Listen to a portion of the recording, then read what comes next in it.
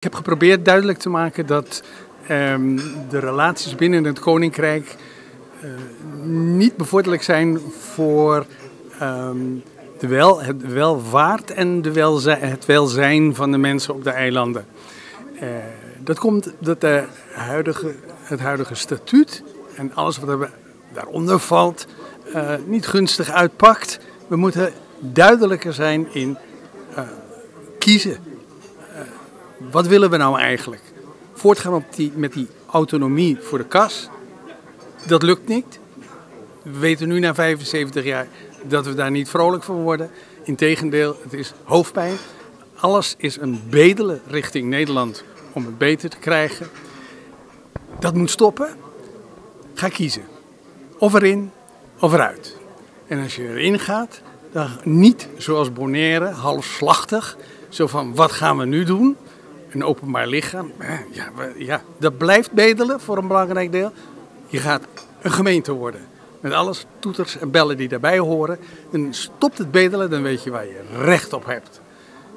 En de kas ook heel duidelijk zijn, of de kaslanden, Curaçao, Aruba, Sint Maarten, weet waar je naartoe gaat.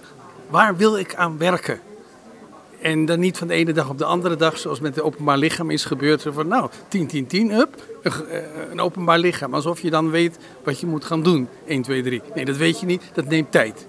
Nou, wat mij betreft wordt een, een land als Aruba een onderdeel van Nederland.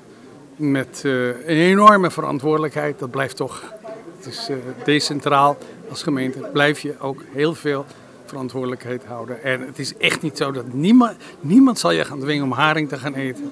Je kan blijven eten en doen en laten wat je wil. U woonde in de eilanden en u vindt dat deze discussie nog gaande is in de samenleving op de eilanden? Ja, dat, dit speelt al, ik, ik, weet niet hoe lang. Het begon natuurlijk met, de, met het uiteenvallen van de Nederlandse Antillen. Het is rampzalig eigenlijk, ieder voor zich.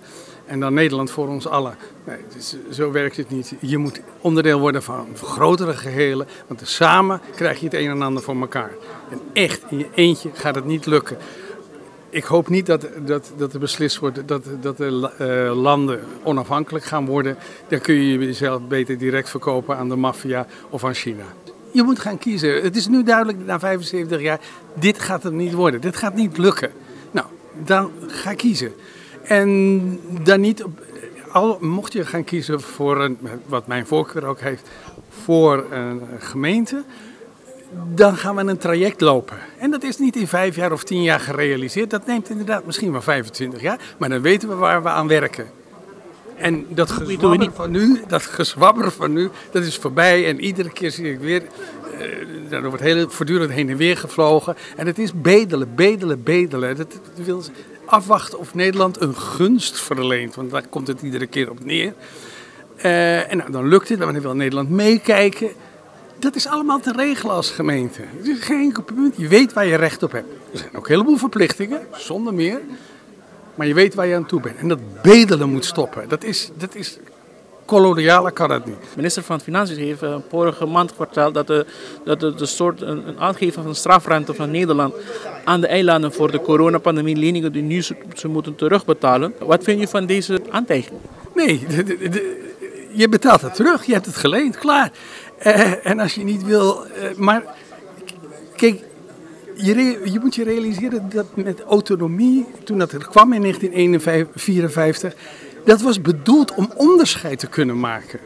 Men dacht dat, het, dat je het beter kon doen dan Nederland. Nou, oké, verkeerde gedachte misschien.